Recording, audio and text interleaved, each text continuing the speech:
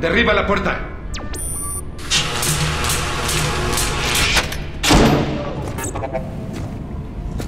¿Qué haces aquí? Sacándote de aquí. Ten, ponte esto. Te hará falta. Te podrías meter en un buen lío por hacer esto. Ya no. Las cosas cambiaron. Mejor nos vamos. ¿Y qué pasa con los otros prisioneros? No podemos dejarlos aquí.